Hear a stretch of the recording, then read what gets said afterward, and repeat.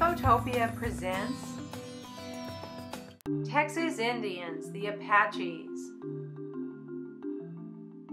The Apaches arrived in the Southwest between 1000 and 1400 AD. Two groups, the Lipan Apaches and the Mescalero Apaches, lived in Texas.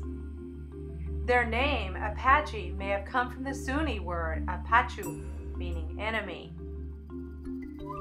They call themselves Inde or Dine, meaning the people.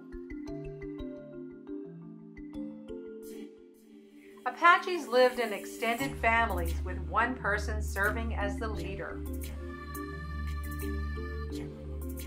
The male leader for several groups was called the band leader. Sometimes the groups came together for social gatherings or to help defend the groups. Females were important. Following a marriage, the husband moved in with his wife's family. For many years, the Apaches were nomads and depended on the buffalo for their clothing and shelter. They were the first Indians after the Pueblos to ride horses. Later, they built rancherias of small huts and they played planted fields of maize, beans, pumpkins, and watermelons. Because of their planting times, the Comanche knew when and where to find them and defeat them. Because of the Comanche raids, the Apaches grew weaker and the Comanches became stronger.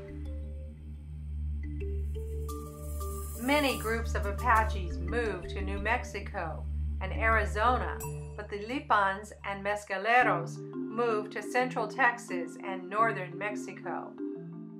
When San Antonio was founded by the Spanish in 1718, the Apaches continued with attacks against them. Finally, in 1749, peace was established between the Spanish and the Apaches. To learn more about Texas history and Texas Indians, check out Texas History at infotopia.info. Subscribe to our YouTube channel so you don't miss our next video. We look forward to having you along.